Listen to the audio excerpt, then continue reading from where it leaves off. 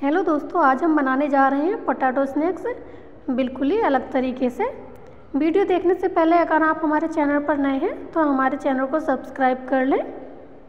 जो नीचे bell icon की घंटी दी है, उसे प्रेस कर लें, जिससे कि आपको आने वाली वीडियो की नोटिफिकेशन मिलती रहे। तो चलो फिर चलते हैं हम पोटैटो स्नैक्स बनाने की तरफ़। अगर दोस्तों आपको हमारी वीडियो पसंद आए तो हमारे वीडियो को लाइक भी करें और ज़्यादा से ज़्यादा लोगों तक शेयर करें। ये मैंने दो आलू लिए हैं, जिन्हें मैंने अच्छे से छील कर धुल लिया था। अब मैं इन्हें कद्दूकस कर लेती हूँ। मैंने अपने दोनों आलू को कद्दूकस कर लिया है। ये मैंने कुछ पालक लिया है। पटाटो स्नैक्स को मैंने अच्छे से दो बार पानी में वॉश कर लिया था। ये मैं पालक, थोड़ा लाल मिर्च पाउडर, हल्दी पाउडर, हींग डाल लेती हूँ दोस्तों, और ये मैं दो चम्मच बेसन डाल रही हूँ। बेसन बेसन आप अपने अकॉर्डिंग कम ज़्यादा कर सकते हैं।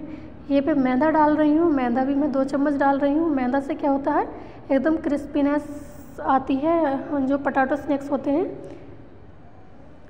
नमक स्वाद अनुसार अब इसे हम अच्छे से मैश कर लेंगे क्योंकि जो आलू में होता है मॉइस्चर होता है, इसलिए हमें इसमें पानी नहीं डालना है, ऐसे ही हाथ से मैश करना है।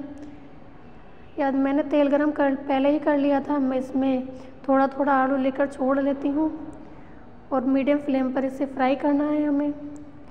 अब इनकी हम साइड चेंज कर लेते हैं दोस्तों। एक बार इस रेसिपी को ज़रूर ट्राई करें और कमेंट करके बताएँ कि आपकी रेसिपी कैसी बनी है। एक दो बार उलट पुलट करते हुए हम इसे निकाल लेंगे खाने के लिए। जब तक कि इनका कलर चेंज ना हो जाए दोनों साइड से।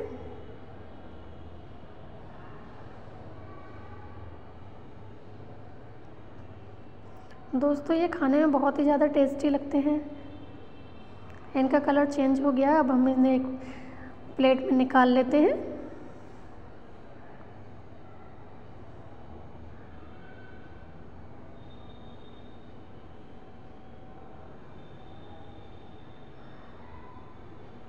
ये हमारे बन कर के तैयार हैं और ये खाने के लिए बिल्कुल रेडी हैं। आप इन्हें किसी भी चटनी के साथ एंजॉय कर सकते हैं। ये धनिया चटनी के साथ तो बहुत ही ज़्यादा टेस्टी लगते हैं। Thanks for watching this video thank you like share and subscribe